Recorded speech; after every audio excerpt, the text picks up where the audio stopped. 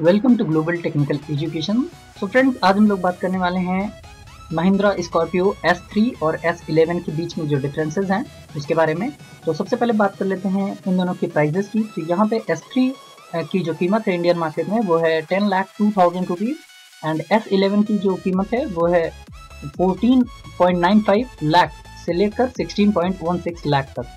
यानी लगभग पंद्रह लाख से लेकर सवा सोलह लाख तक। तो फ्रेंड आगे बात करते हैं इसके स्पेसिफिकेशंस में, जो डिफरेंसेस हैं उसके बारे में।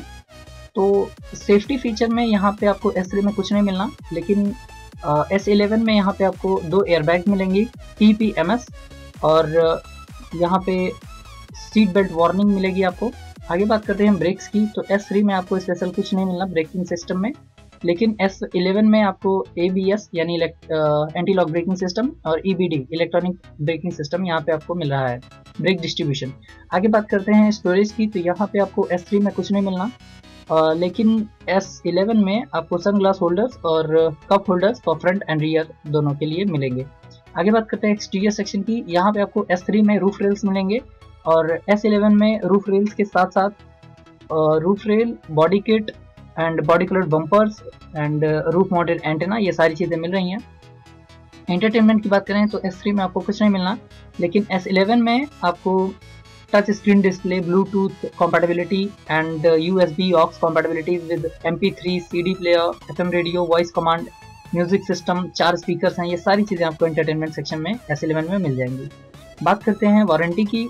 तो यहाँ पे आपको दो साल की वारंटी और पचहत्तर हज़ार किलोमीटर तक की वारंटी, यानी सेवेंटी फाइव थाउज़ेंड किलोमीटर तक की वारंटी मिलेगी दोनों कार के लिए। बात कर लेते हैं इसके स्पेसिफिकेशन में जो डिफरेंसेस हैं। तो यहाँ पे टॉक है जो S3 का मैक्सिमम टॉक वो है 200 newton metre the rate of 1400 RPM और जो S11 का मैक्सिमम टॉक है, वो है 320 newton metre the rate of 1500 RPM capacity की बात करें तो 2523 सीसी का इंजन लगा हुआ है S3 में।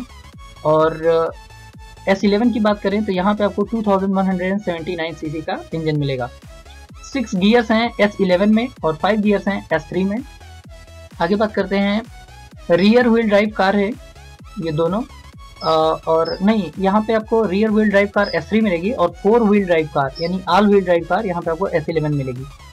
सो फ्रेंड्स आगे बात करते हैं इसके मैक्सिमम पावर की। तो 75 five B S P at the rate of 3200 RPM ये मिल रहा है एस थ्री का आपको मैक्सिमम पावर और एस इलेवन का जो मैक्सिमम पावर है, वो एप्लीकेबल नहीं है। और so friends this was differences between new Mahindra Scorpio S three and S11 तो आपको वीडियो कैसी लगी, आप कमेंट करके बताइए। शेयर कीजिए इस वीडियो को व्हाट्सएप एंड फेसबुक पे। और सब्सक्राइब तो ज़रूर करिए इस चैनल को और उस बेल आइकन को ज़रूर दबाइए ताकि मैं जब भी नए वीडियोस डालूं तब तक डायरेक्ट नोटिफिकेशंस पहुँच जाए। और लाइक कर दीजिए इस वीडियो को। Thank you for watching this bye